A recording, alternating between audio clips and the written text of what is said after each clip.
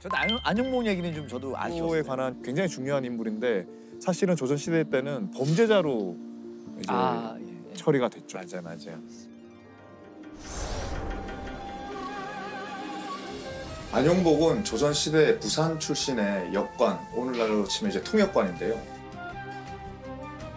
네, 일본으로 건너가서 독도와 울릉도가 우리 땅이라는 것을 확인받은 그런 분입니다. 사실상 독도와 울릉도의 아버지라고 할 수 있는 분입니다. 지금도 이제 독도 가지고 그렇게 하고 있지만 사실은 조선 시대 내내 울릉도 가지고 일본에 계속 그 가지려고 했었고 아, 다툼이 있었군요. 네, 울릉도 네. 가지고. 네. 울릉도가 자기 땅이라고 생각을 했었고 계속 도해 면허를 주면서 울릉도에 가서 계속 어업을 하도록 그게 한 거예요. 네. 안용복이 울릉도에 고기를 잡으러 갔는데 거기서 일본 어부들이 고기를 잡고 있었던 거예요. 그래서 안용복이 왜 남의 땅에서 물고기를 잡느냐 하고 따졌죠. 그러니까 일본 어부들은 여기 우리 땅이다 이렇게 해서 싸움이 일어난 겁니다. 근데 그 자리에서 다툼이 해결이 안 되니까 일본 본토까지 가게 됩니다. 그러니까 그곳에서 일본 지방관을 만났는데 안용복이 울릉도와 독도가 조선 땅인데 왜 일본 어부들이 들어와서 고기를 잡냐 하고 따집니다. 그걸 들은 일본 정부에서 울릉도와 독도가 조선 땅이라는 문서를 써주고는 안용복을 돌려보내라고 합니다. 어, 근데 1차 도일하면서 오다가 대마도 주는데 뺏겼다는 게 안용복의 진술이에요.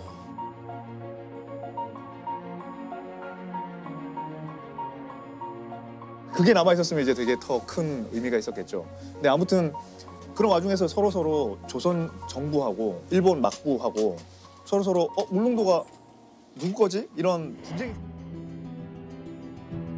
일본 막부도 그 그 그 가장 가까운 데가 도토리 번이었는데 지금 도리안 예. 예, 물어본 거죠. 울릉도가 어디 거냐?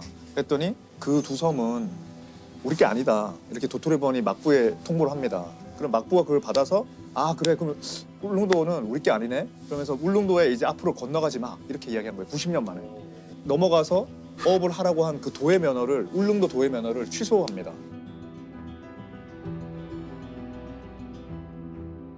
그게 기록에 남아 있는 거죠. 예, 그 양국의 기록에 남아 있습니다. 양국에. 지금 결정적 증거네 그게 네, 지금 네. 근데 그때 이제 일본은 그때 정리된 거는 울릉도만 정리된 거지. 독도는 정리 안 했다. 독도는 아니다라는 거죠. 지금은. 지금의 논리가. 예. 근데 사실 그 울릉도 생계 전후로 한쪽만 조선 땅이고 한쪽만 일본 땅으로 한 적이 없어요. 야.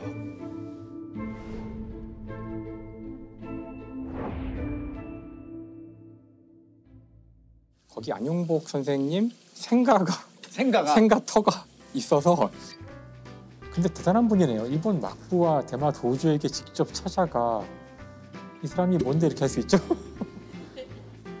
아 여기네요. 자 그러니까 평범한 어부였는데 어떻게 가서 건너가서 막부로부터 공식 문서를 받았다. 정말 대단한 사람인 것 같은데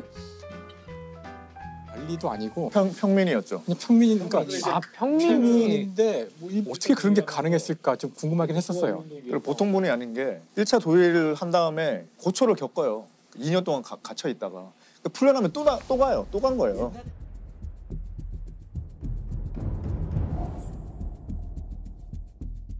그, 그렇게 갔을 때 약간 사칭을 합니다. 그냥 일반 민간인인데 나는 울릉도와 독도의 세금을 담당하는 관리다. 이렇게 사칭을 한 거예요.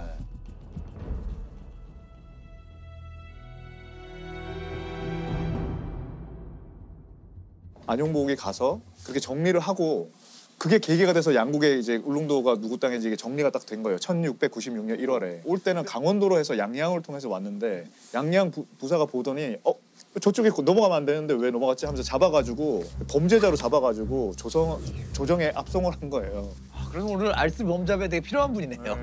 범죄에도 연루돼요. 범죄로 안용복의 제목은 넘어가지 말라고 한 그 섬에 넘어갔고 공무원이 아닌데 공무원이라고 사칭했다. 사형이에요, 사형. 영의정의 사형을 목을 베라고 했어요.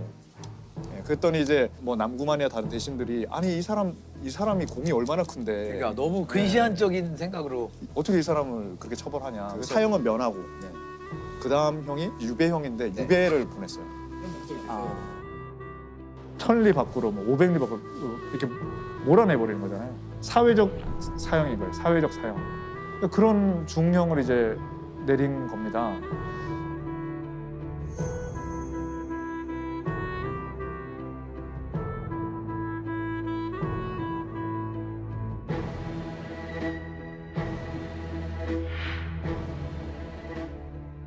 일본이 처음으로 이제 독도를 편입할 때 처음 그때 이제 1905년에 이제 편입을 한 거거든요. 2월에. 아, 5년에. 네. 근데 내무성 이 이거 조선령으로 여겨지는 땅이다. 내무성 관리가 왜 그렇게 생각했냐면 1877년에 그 태정관 지령이라는 걸 보고 그렇게 한 거예요.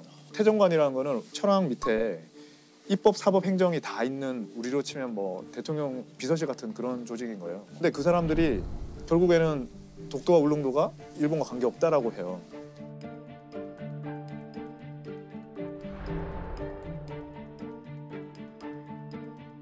근데 그 사람들이 왜 뭘 근거로 하냐면 또 180년 전에 울릉도 쟁계를 근- 문서를 보고 하는 거예요. 아, 그렇게 이어간. 네, 그러면 그 울릉도 쟁계는 누가 만들었냐면 안용복이 이제 계기가 돼서 이렇게 한 거죠. 그러니까 그러니까 그 일본 내무부 네. 사람이 알고 있는 거잖아요. 그렇죠, 그렇죠. 그럼 자기들 기록에 남아 있잖아 이게. 네. 야 그게 결정적이네요. 진짜. 결정적이네 이게. 근데 이제 일본은 계속 그렇게 이야기하는 거죠. 이럴, 이를테면 이제 죽도 외의 일도는 본방과 관계 없다. 우리 일본과 관계 없다고 했는데 지금 거기서 이제 뭐 두 가지로 그 외의 일도라는 게 독도가 아니라 딴 섬이라거나 우리나라 게 아니라 그랬지 언제 조선령이라고 했냐 이런 거예요. 근데 그것도 울릉도 쟁계 때 우리 조선과 이게 그 분쟁이 있었잖아요. 그러니까 그게 자기 땅이 아니면 우리 땅이 되는 거죠. 모든 것의 시작점이 거기 있는.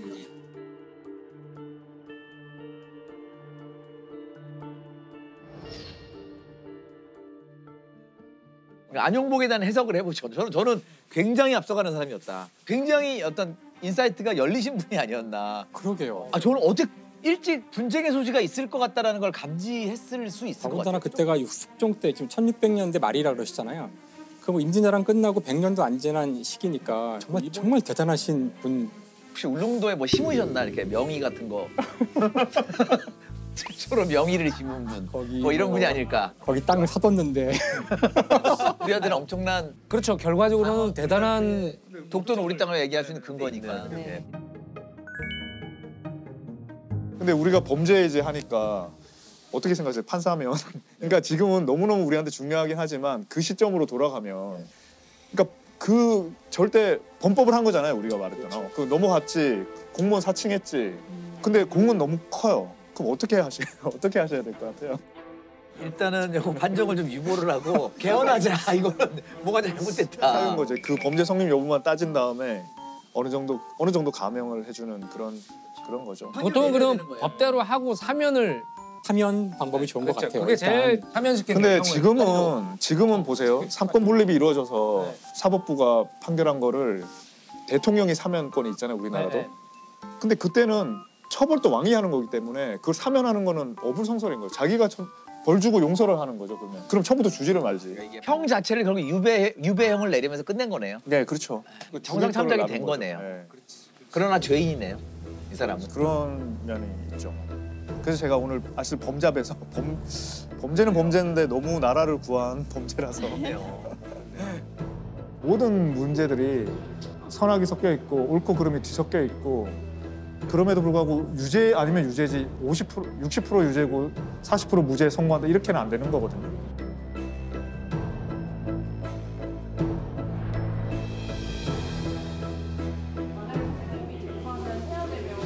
아주 고민이 많이 돼요. 제가 그걸 너무 고민이 돼서 제가 그만둔 거예요.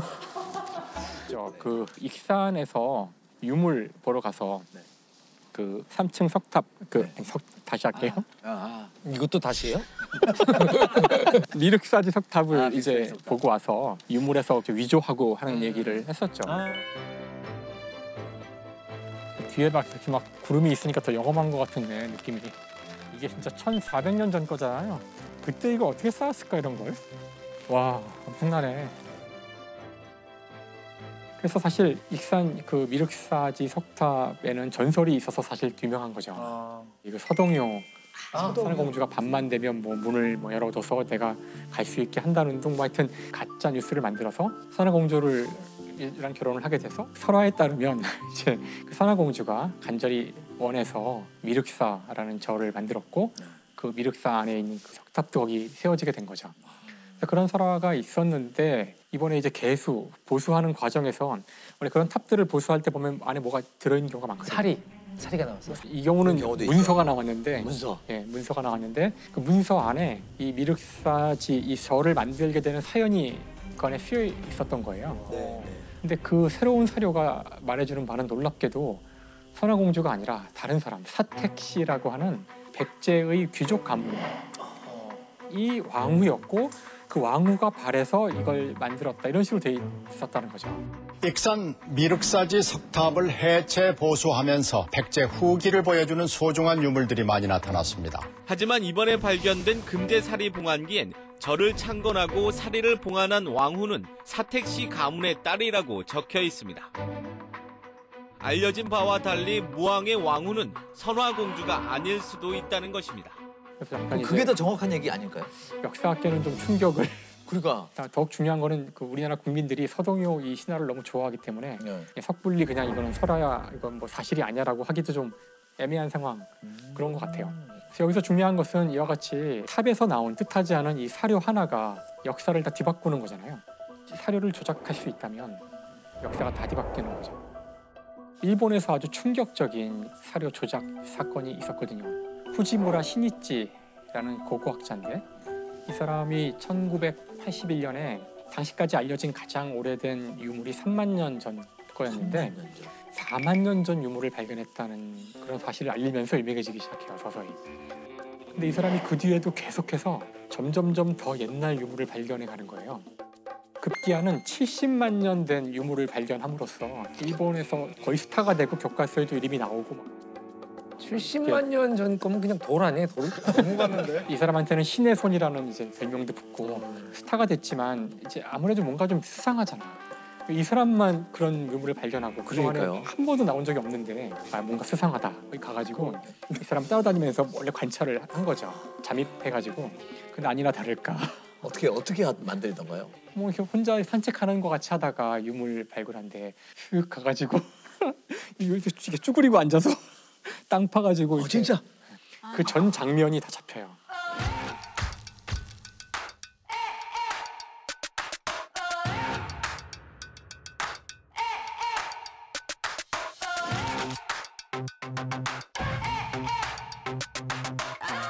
어쨌든 그 물질일 거 아니에요 뭔가 그 70만 년 전이라는 걸 증명 못, 못 하나? 그러니까 이 사람이 이게 고고학자라는 게 중요해요. 아이 사람이 의심이 안 가게 하기 위해서 어떻게 하는지를 알고 만들었다는 뜻이죠. 그러니까 전문가가 속이기 시작하면 그렇죠. 밝히기가 아주 힘든 거예요. 아 그렇겠네.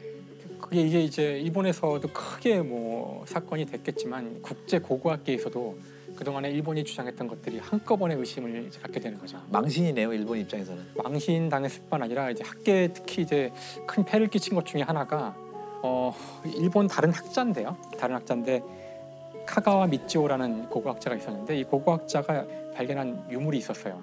이런 사건이 있고서 혹시 이거 이것도 가짜 아닐까 이제 사람들이 막 의심을 시작하는 거잖아요. 그 사람은 자기는 아니다. 자기는 절대로 그런 조작하지 않았다고 막 주장하다가 정 이게 먹히지 않고 사람들이 막 자기 비난하고 조롱하니까 자살을 해요. 이 사건에서 그한 사람의 물론 자기 공명심 때문에 한 일인데 사실 우리도 그 황우석 사태가 있었잖아요. 네. 그러니까 진짜 그 우리나라 주요 대학 최고의 대학의 교수가 마음 먹고서 조작을 하면 쉽지 않다는 거예요. 황우석 증후군이나 황우석 신드롬이라 해도 지나치지 않을 것 같은데요. 특히 타임지 최신호는 황 교수의 업적에 대해 특집 기사를 싣는 등 황우석 서울대 교수의 연구를 위해 난자를 제공하겠다는 기증자 수가 2005년 사이언스 논문은 조작이었습니다. 황우석 교수가 직접 개입했습니다. 황우석 교수의 줄기세포는 결국 하나도 없었습니다. 과학계도 국민도 모두 기만당했다. 우리나라의 논문들이 그 뒤부터는 심사 받을 때 항상 이제 한국 거야 논문 이거 약간 이거 믿어도 돼? 서울대에서도 그런데 믿어도 돼? 뭐 이런 얘기를 듣게 되니까 학계란 것은 자기가 모든 걸 할 수가 없잖아요. 언제나 다른 사람이 한 선행 연구에서 한 발짝 더 나가는 거거든요. 그럼 그것을 믿지 못하면 다 무너지는 거기 때문에 다들 이 사람이 한 거를 내가 믿고 이 중요한 한 계단을 조작을 한다면 그러면 이 학계라는 시스템 자체가 붕괴를 하는 거라 그 처음에 이제 부정 의심을 받기 시작했을 때 많은 사람들이 그 의심하는 학자들을 욕했어요. 비난하고. 이번에 후지무라 신이치 사건의 경우도 사실 10년 채 안 지났을 때 고고학계에서는 의심이 시작됐대요. 아, 속이는 게 한계가 있잖아요. 근데 문제는 이미 사회에서 너무 많이 이 사람이 알려지고 와 우리는 위대한 민족이야 우리의 역사는 생각보다 길어 이러는 판국에 섣불리 이렇게. 의심을 제기하는 것이 굉장히 무서웠던 상황이라는 거예요. 네. 그러니까 결국은 시간이 한참 지날 때까지 견제가 안 되고 정말 그 사람이 현장에서 잡히는 그런 정도까지 올 때까지도 이 사람을 제어 못했던 거예요. 그러니까 사실 똑같은 거죠. 황우석 때 우리가 겪었던 거랑 같은 일을 일본에서 겪었던 거예요. 저는 역사를 배우는 이유가 미래를 알기 위해서 배운다, 배운다고 생각을 해요. 과거를 보고 그걸로 그냥 예측해 보는 것이 할 수 있는 최선의 길이기 때문에 과거의 데이터를 제대로 알지 못하면은 잘못된 미래에 대한 예측과 기대가 나올 거라서 우리나라 역사에서 특히 다시 안 좋은 일이 반복되게 하지 않기 위해서는 확실히 정확히 알아야지 그런 일 또 안 생기죠.